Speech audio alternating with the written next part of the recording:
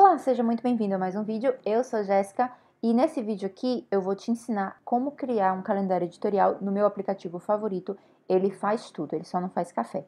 Mas fora isso, ele faz absolutamente tudo. É super útil, é super prático e eu recomendo você começar a usar. É o Notion. Já tem outros tutoriais dele aqui no canal e esse aqui é especificamente como usar a função de banco de dados do Notion para você criar o seu calendário editorial.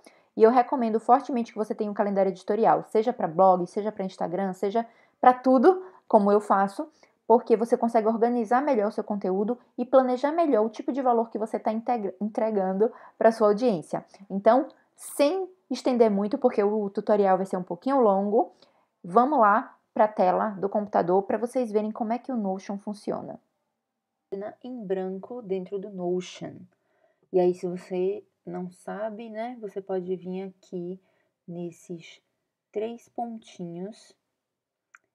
No meu caso aqui, ó, eu fiz o seguinte, eu escolhi essa opção aqui de fechar a barra lateral. Então, ela fica fechada assim para eu ter a visão completa da interface, mas você pode só passar o mouse aqui em cima, ele já traz ela de volta. E aí, para criar uma página nova, você vem aqui, ó, nesses botõezinhos de mais que aparecem tá? Eu criei esse daqui e eu vou chamar ela de é, calendário de calendário editorial. Tá? Template, para ele não ficar com o nome chocando com outras páginas que eu tenha, tá? Então, é, não tem problema se tiver o mesmo nome de outra página que você já tenha, tá? Mas é porque como eu faço muita pesquisa dentro do Notion, às vezes eu quero encontrar uma página específica, eu gosto de ter elas todas diferenciadas, porque aí eu não, não corro risco de confundir uma com a outra e perder tempo abrindo uma página que não é para ser aberta. Então tá, dei o meu título aqui, né? E o Notion é todo personalizável, então a gente pode inserir um ícone, só clicar ali em inserir ícone, tá? Então você passa o mouse e aparece a opção inserir ícone, inserir capa, inserir comentários, eu vou inserir um ícone, ele insere um automaticamente e eu posso trocar. Eu gosto muito do lapisinho, então vou pôr ele aqui, tá? Então temos aqui, você pode adicionar uma capa também para deixar ele mais personalizado. Eu vou deixar ele só assim por enquanto. E um calendário de conteúdo, né, um calendário editorial, ele pode ser tão complexo quanto você quiser. Então você pode ter campos para colocar é, tags para dizer, ah, isso vai ser postado no Instagram, no Facebook, no Twitter, isso vai ser postado em formato de vídeo, de imagem, de gráfico com layout, só a foto, foto editada, enfim, você pode ir até o infinito. O que eu vou mostrar para vocês aqui é um formato que funciona muito bem para mim, porque ele não é extremamente complexo, mas ele ainda tem é, várias opções, opções suficientes para eu colocar é, a diferenciação entre um conteúdo e outro, e por acaso se eu precisar procurar ou reciclar algum conteúdo diferente, eu tenho é, na minha base de dados. Então, isso aqui é a página em branco do Notion, ele já dá umas opções aqui, ó, tem nada, ele vai dizendo, você vai criar uma página vazia, templates, importar ou criar uma base de dados. O que a gente vai fazer aqui é criar uma base de dados, então a gente vai escolher um desses formatos aqui. Mas antes disso, se por acaso você clicou na sua página e aí, ó, sumiram essas opções, o que, é que você faz? Você vai deletar tudo que tem escrito aqui embaixo. Se não tiver nada escrito, só aperta no deletar que ele vai automaticamente, ó, voltar aqui para o título e vai voltar com as opções, né? Como se a página tivesse absolutamente em branco mesmo. E a, a base de dados, né, database que a gente vai criar é essa aqui, tabela.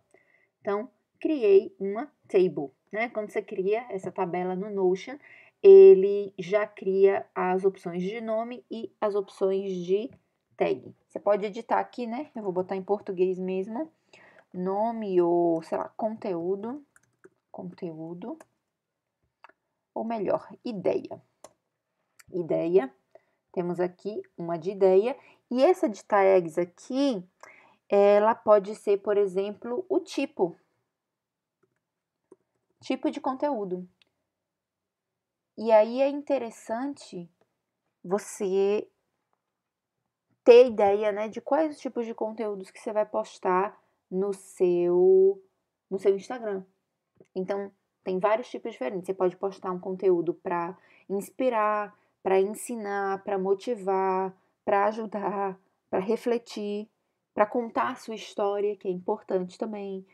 É, alguma dica que facilite a vida do, da sua audiência, do seu cliente, algum conteúdo para divertir, né? Entretenimento é algo muito importante nas redes sociais.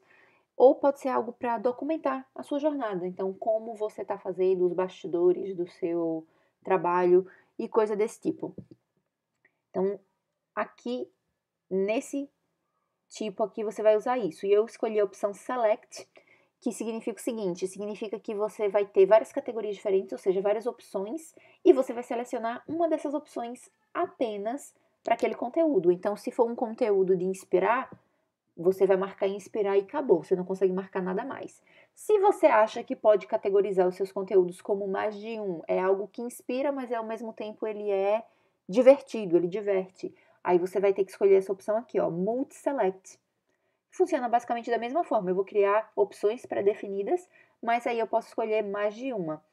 Para tipo de conteúdo, eu geralmente gosto de botar o select só, ou seja, escolher só uma um tipo de conteúdo, porque você tem o foco. Qual é o seu objetivo com aquele conteúdo? O seu objetivo é inspirar, é divertir, é ensinar, tá? Então você define aí qual é o objetivo padrão do seu conteúdo.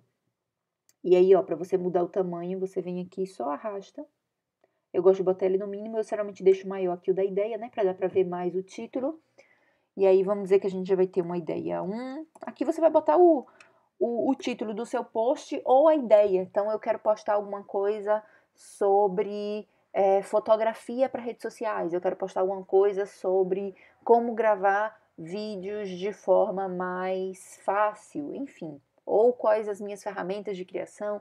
E aí você vai botar o título aqui, né? Por enquanto eu vou chamar de ideia 1, ideia 2 e ideia 3. E se você for dando enter a cada ideia nova que você for criando, ele vai criando mais linhas. Ou você pode apertar aqui em new e ele vai criando mais linhas também, tá? Por enquanto, vamos ficar aqui com essas três ideias só para a gente ter uma noção de como é que vai funcionar.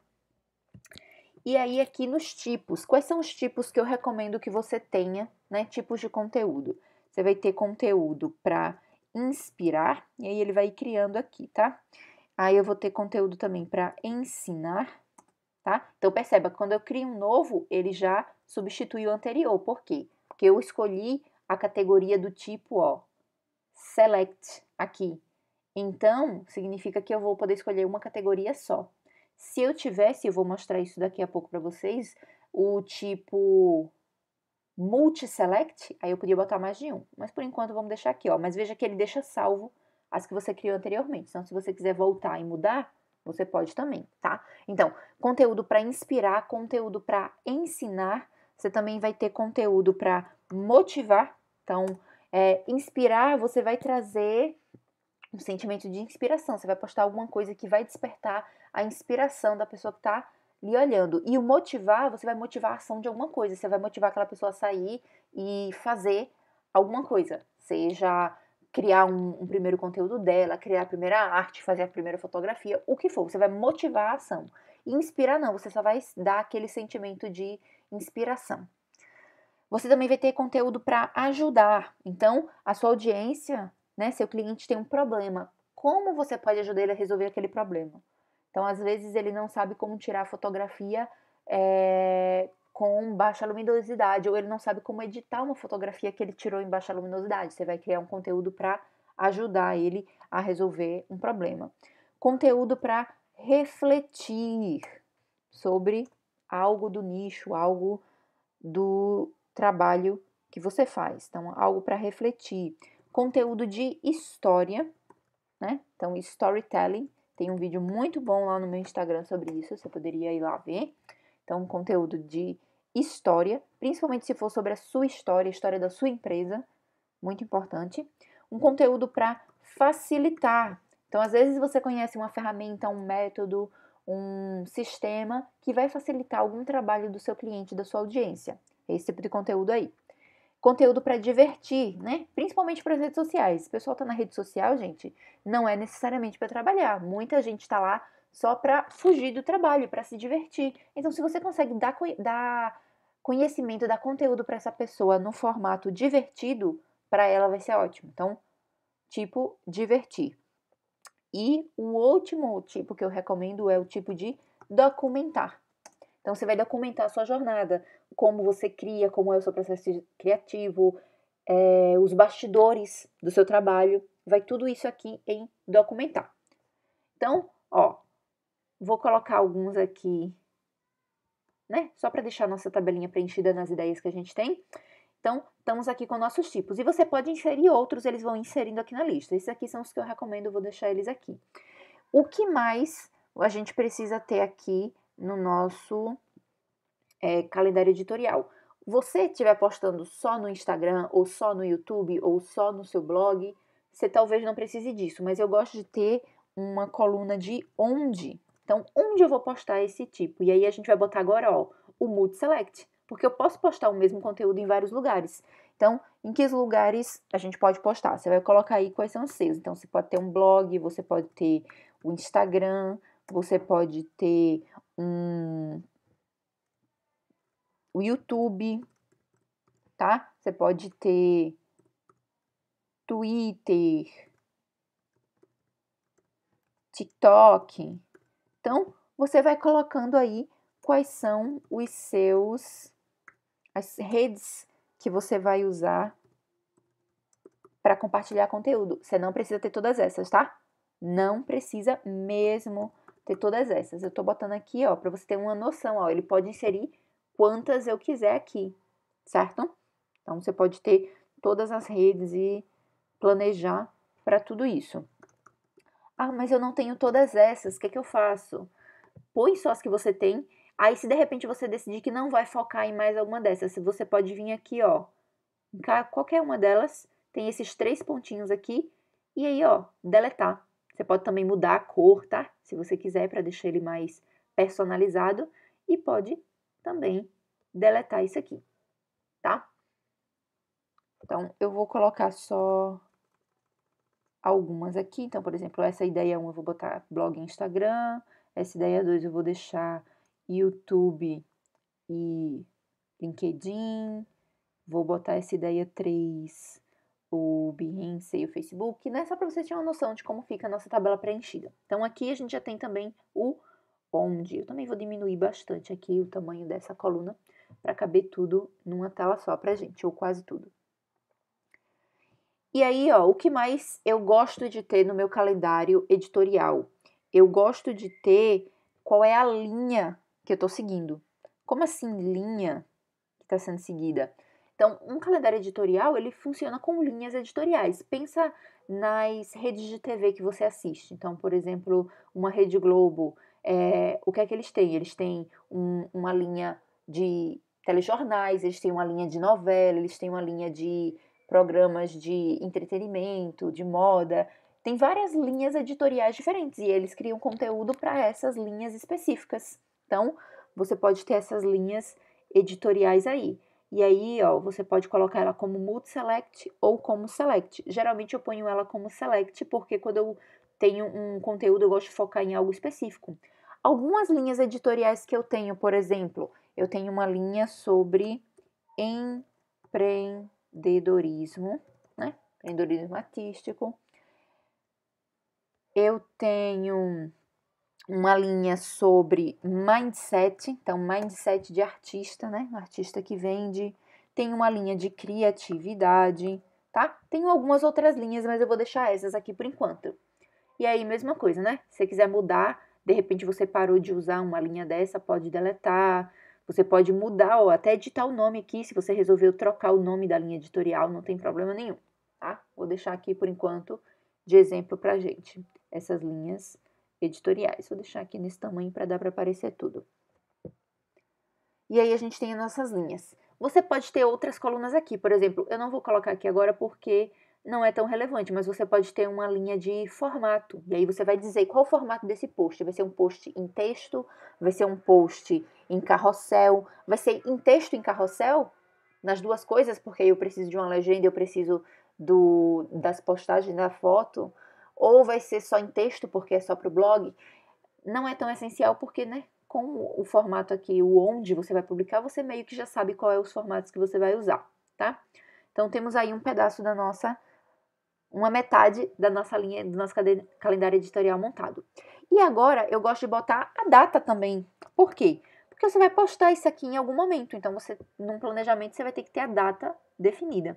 E aí, ó, o Notion já tem uma opção de data aqui que quando você clicar, ó, você vai poder botar a data que você quiser aqui. Eu vou botar aqui uma data, sei lá, bem distante, né? Daqui a um ano, só para deixar registrado. E aí, ó, você pode também incluir a hora que vai ser feita essa postagem e incluir um lembrete, ó. Quanto tempo você quer ser lembrado? Você quer ser lembrado uma hora antes, 30 minutos, 15 minutos? Se você for postar numa rede social e não for fazer agendamento, for postar manualmente, isso aqui é interessante para te lembrar. Ele manda uma notificação para você pelo aplicativo, tá? Por enquanto eu vou deixar sem hora, vou deixar só com umas datas aqui aleatórias para a gente ter uma noção de como é que ficam. E eu vou botar para um, o ano que vem. Só para a gente ter informação aqui. Ó. Então, deixar ela no mínimo também para não ocupar muito da nossa tela.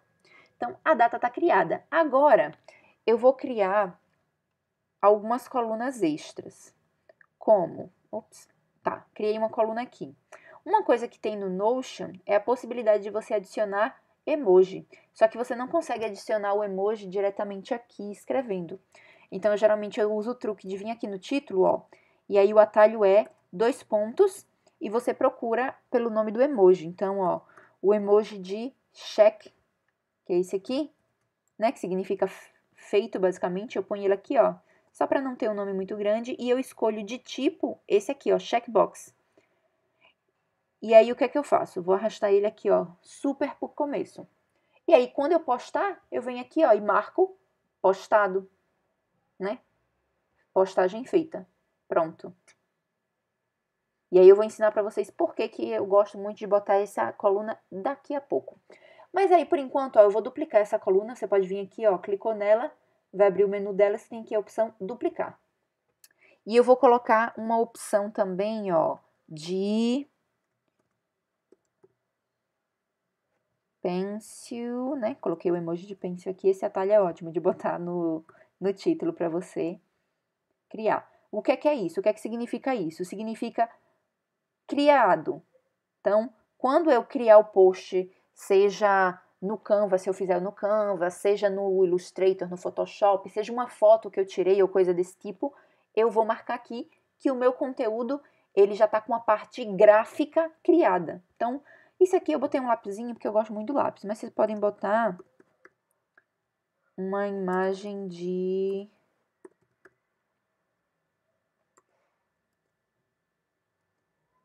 de uma câmerazinha.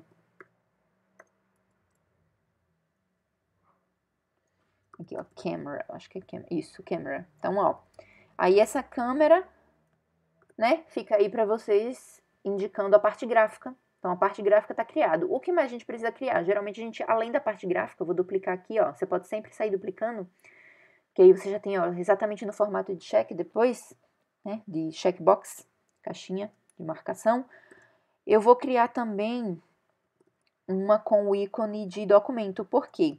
Porque a gente precisa de uma legenda, geralmente, para essas postagens, né? Além da parte gráfica, precisa de uma legenda. Então, parte gráfica e legenda.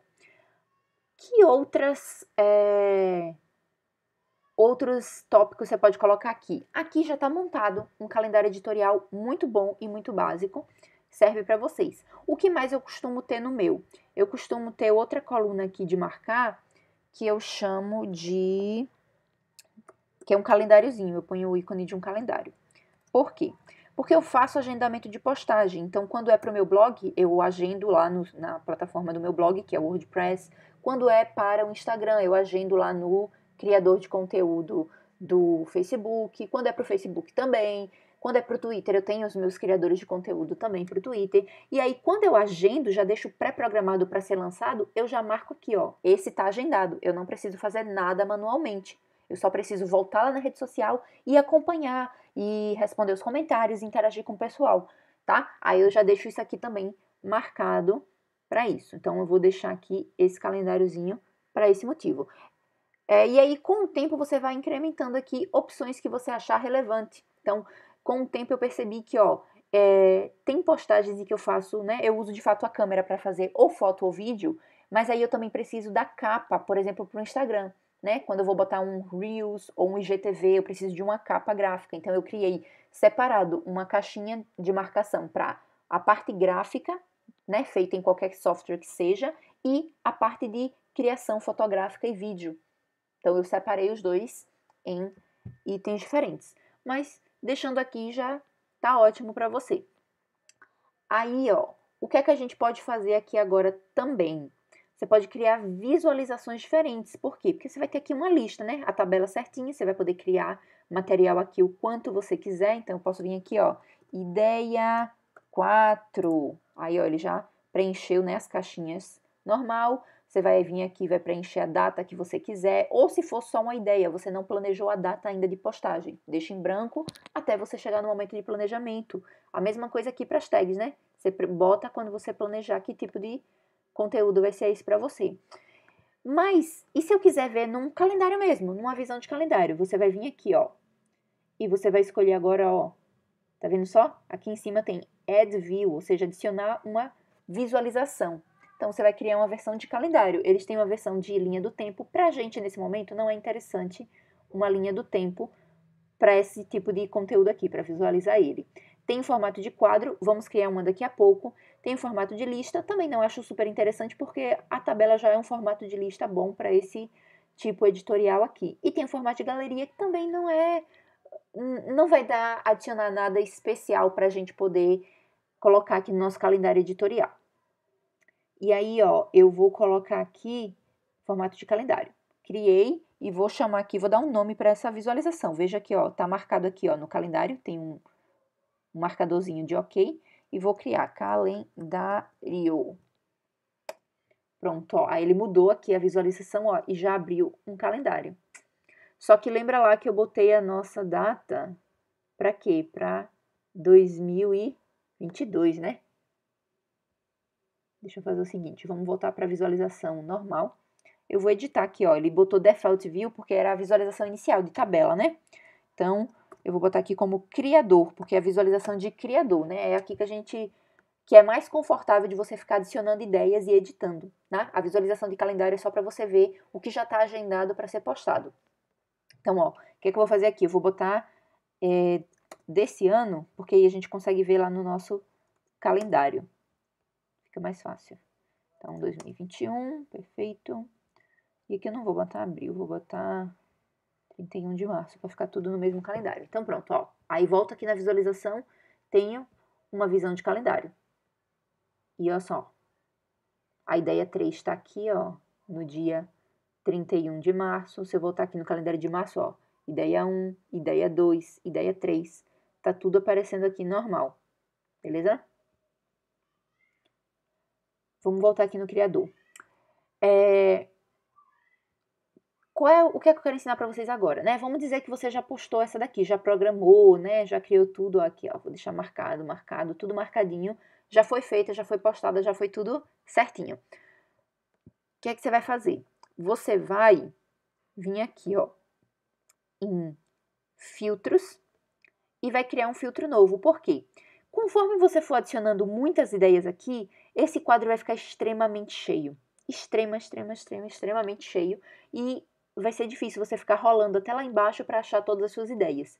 Então, primeira coisa, vem aqui em sorte, né? Sorte é arranjar. Você vai arranjar ele em relação à data e vai botar uma data ascendente, ou seja, ele vai botar a data mais próxima primeiro, depois vai descendo para as datas mais distantes. Então, dia 15, dia 26, dia 31, certo?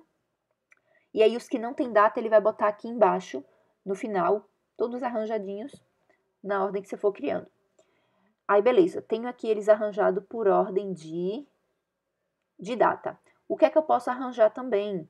Posso arranjar qualquer item. Então, se eu botar aqui ó, outro arranjamento, eu posso botar arranjar ideia por ordem ascendente, ou seja, ordem alfabética. Mas, por enquanto, eu recomendo só ter a ordem de data. Os outros você vai vendo aí a sua necessidade, se você quer arranjar por tipo de conteúdo ou os que já estão marcados com, com legenda criada e por aí vai. Agora a gente vai para filtro. E no filtro é que está a sacada. A gente vai adicionar aqui um filtro para dizer que ele só vai mostrar para a gente as postagens que tem esse chequezinho desmarcado. Ou seja, as que ainda não foram postadas, né? Que ainda estão em processo aí.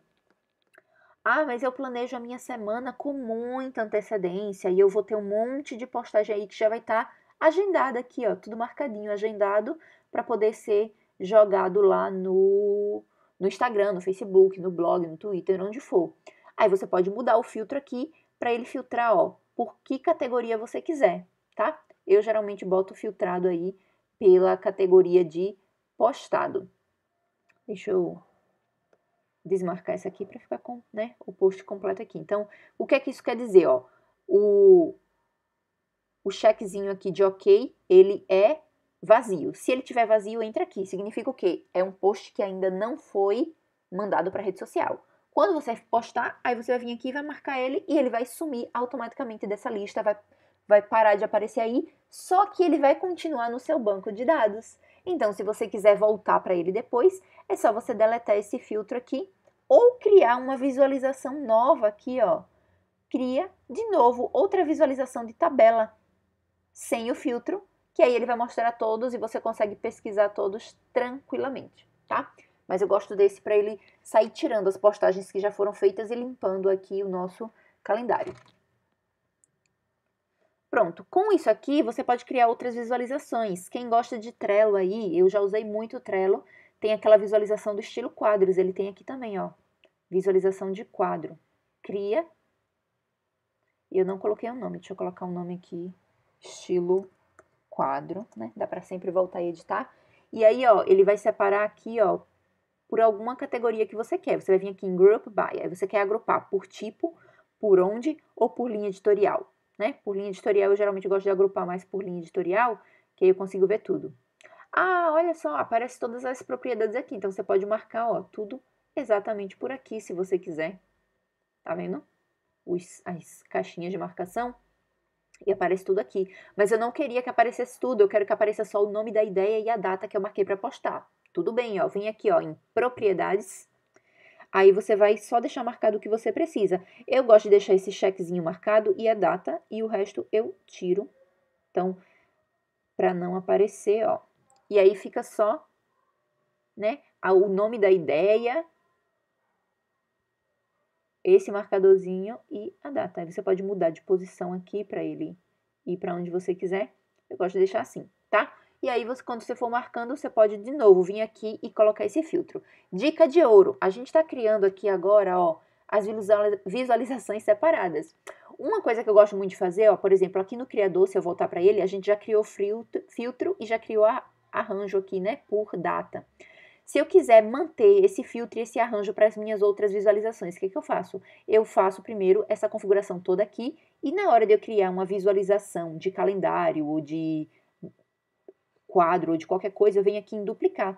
Aí eu duplico, ele vai criar outra tabela, só que aí aqui, ó, eu venho aqui e troco. Não, esse aqui vai ser visualização de calendário. E veja, ó, ele manteve nosso filtro e manteve nosso arranjo por data, tá? Então, você pode fazer isso também. Aí, o ideal é você criar primeiro aqui no criador, ou seja qual for a visualização, todos os filtros e todos os arranjos que você precisa, e aí depois você vai duplicando e mudando o formato, tá? E a mesma coisa, ó, em todas as visualizações você vai ter propriedades, então você pode escolher qual a propriedade que aparece ou não. Então deixa eu voltar aqui na do calendário. Na do calendário você vê, ó, se clicar em propriedades, só tem o nome aparecendo, você pode deixar... A data não faz sentido, né, porque você já está no calendário, mas você pode deixar esse marcadorzinho aqui para deixar para você poder marcar se foi postado. E ou então esses outros aqui para você ver, ó, falta criar a legenda, falta criar foto, falta agendar, coisa desse tipo. Então, você pode fazer isso também. Ou pode colocar o tipo para você saber, poxa, nesse dia eu estou postando é, de ensinar, no outro dia eu postei documentar. Eu acho que está na hora de eu variar o tipo de postagem. Isso também ajuda bastante, tá? Então, esse daí é o nosso calendário editorial. Pode adicionar outras visualizações se você quiser, tá? Mas as que eu recomendo são essas três aqui, dá para você ter uma noção muito boa. E aí você tem a de criador. Qual foi a minha dica para vocês, né? Antes, duplica essa aqui de criador. Eu vou chamar agora ela, vou trocar o nome para base de dados.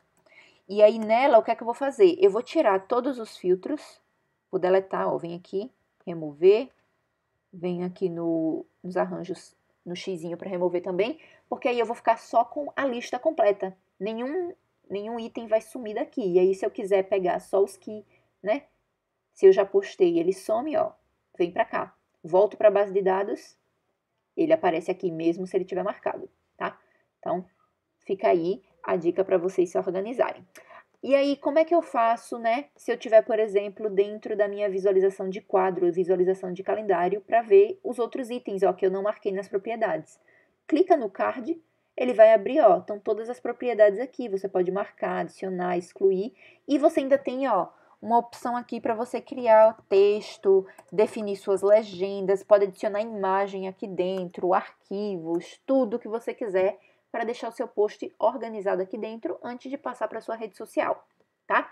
Então, é assim que você cria um, um gerenciador editorial, calendário editorial para sua marca, para o seu conteúdo, seja ele qual for o formato. Ó, você pode abrir de qualquer visualização e usar.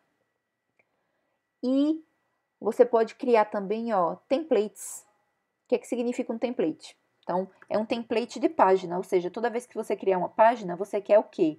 Você quer alguma coisa específica marcada aqui ou você quer que tenha áreas específicas aqui? Então, por exemplo, eu posso querer que tenha legenda, né? Aí eu vou ter uma área aqui já para legenda. E aí eu posso querer também que tenha uma parte de brainstorming, para você jogar ideias aqui embaixo.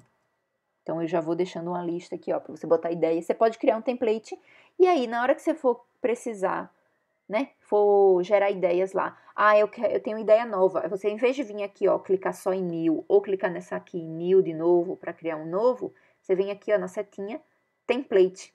Aí você já, ele já abre, ó, e já vai carregar aquele template que a gente criou. E vai mostrar aqui daqui a pouco pra gente, ó. Essa aqui seria uma ideia 5.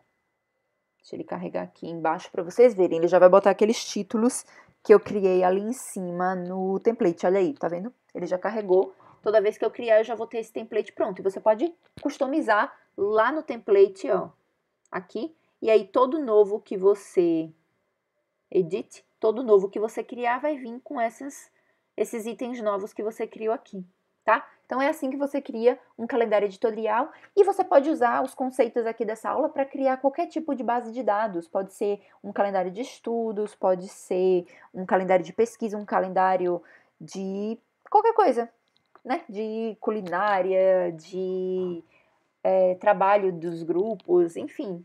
Você pode fazer o que você quiser. Se você trabalha com mais gente, pode adicionar uma outra coluna aqui, né?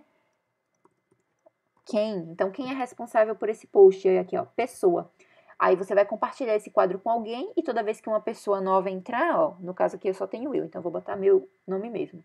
Aí você vai botar aqui a, o rostinho, né? O, o, o usuário de cada pessoa e essa pessoa vai saber que é ela que está responsável por aquilo ali, tá? Então espero que vocês tenham gostado dessa aula. Se você gostou, deixa o seu like, comenta aí embaixo se você vai, já conhecia o Notion, se você vai começar a usar o Notion, se você quer mais tutoriais de Notion. E eu vejo vocês no próximo vídeo. Até lá, mantenha-se criativo.